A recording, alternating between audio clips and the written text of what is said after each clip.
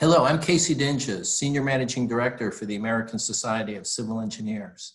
Thanks for joining us today for a discussion on the future of civil engineering education. My guest today is Kevin Hall, Professor of Infrastructure Engineering at the University of Arkansas and the Chair of the 2019 Civil Engineering Education Summit Program Committee. Welcome, Kevin. Thank you, Casey. I appreciate the opportunity to be here today. The world around us is constantly changing, and therefore, so is the role of civil engineers. New special demands now challenge civil engineers to solve present and future problems.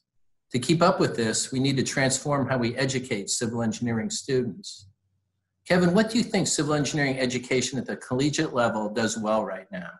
Well, I think we do a very good job of preparing students for the workplace uh, in terms of their technical abilities. I think our emphasis on adhering to code, to the engineering problem solving method, the, the ability to think through a problem, I think these are all very big strengths of our current education system.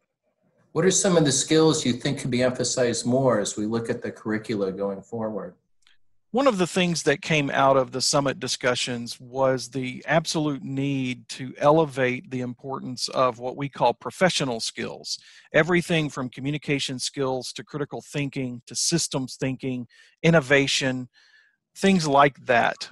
We think that, or at least the summit participants uh, discussed this at length to say that that these are skills that engineers are going to need in even greater uh, amounts as we move forward and you can kind of balance those, if you will, professional skills and the time it takes to educate with the time you need to educate on the technical side and the foundational side? We truly believe that we can. In fact, one of the, I think, misconceptions of a lot of folks is that civil engineering education is absolutely a zero sum game. If you add something in, you must take something out we believe that through innovation in education, we can begin to incorporate these professional skills into our current curricula and really not miss a beat. And even with the pressure in some states to have you know fewer fewer credit hours for graduation it's still possible to find that kind of proper balance? We really believe it is. And many states as you say have actually mandated certain numbers of credit hours but I think when you look at uh, items such as the body of knowledge version 3, one of the things that we need to recognize is that the full educational preparation of a civil engineer does not have to totally occur at the, at the undergraduate level. In fact, the BOK 3 uh, calls for increased education beyond the baccalaureate level. And I think we can, if we start to embrace that model a little more effectively, then we will have room for everything that we need to do. ASCE recently released a report from the 2019 Civil Engineering Education Summit. How do you think academia goes about implementing those recommendations?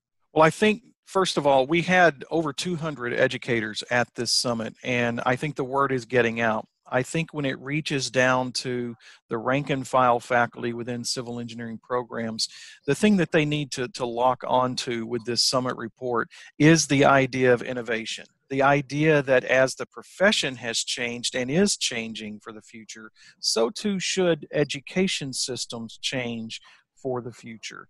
It's the idea that if we want innovation in our solutions, then we need to be innovative in how we educate uh, individuals going into the profession. So I think if if people approach this with an open mind and with really with a mindset of innovation, how can I do things perhaps in a different way that's been done before, but to be more effective when I do it? And if you weren't facing enough challenges this year, the education model has drastically changed because of the COVID 19 pandemic. How does this affect the way we should be educating civil engineers? Well, it has been shown uh, in many, many programs that we can do a very credible job of educating students uh, remotely at distance. This certainly is another tool in our toolbox. Is it the absolute best way to do it? I think it depends on a lot of factors. It depends on the faculty member, the student, the topic. But I think what we're seeing, having been forced into this kind of mode almost full time, that I think you're going to see a lot of educators embracing this, even even if we go back to what used to be considered normal. Even if we go back to that, I think you're going to see a lot more hybrid type models. I think you're going to see a lot more online processes that are mm-hmm. going on in the course of, of whatever normal is going to look like. That goes back to that innovation piece. How can we best use this to solve the problem? And I think as engineers, that's what we do. Are there new gaps created by the remote learning model? And are there positives that, be, that can be taken forward even when students return to campus? Well, I think a very obvious gap would be the ability for truly hands on work, particularly in the laboratories. Right. Many civil engineering programs have a number of laboratories that the students go through. And, and while simulations are very good, and simulations can be very good and very effective, sometimes there really is no substitute for truly putting your hands on something. Uh, we need we're going to need to come up with solutions for that so I, I think that is a is a big topic that that is is being explored right now. I think advantage wise, um, when you start looking at uh, things that people have suggested in the past, the flipped classroom, for example, where content is delivered remotely and then class time is spent uh, practicing those skills, I think you're going to see that really uh, gain new momentum now that we know that we can be effective doing that.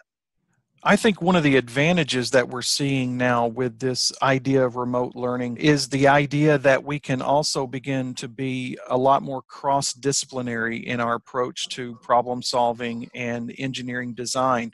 I think this affords us a tool now where we can truly bring in other professionals that civil engineers need to hear from. Perhaps it's the architect perhaps it's a data scientist. And i think i think the remote system really lends itself to bringing on more of those what we what we would have considered to be outside people to bring into our classes to gain that expertise for our students. That's really interesting. So that that would really be a plus in your mind. Absolutely Kevin, thank you for joining me today for this valuable discussion on the future of civil engineering education. Well, it was a pleasure to be here, and thank you, Casey, for giving us this opportunity. For more information on ASCE's Interchange program, visit asce.org/interchange. Thanks for tuning in today, and we'll see you next time on the ASCE Interchange.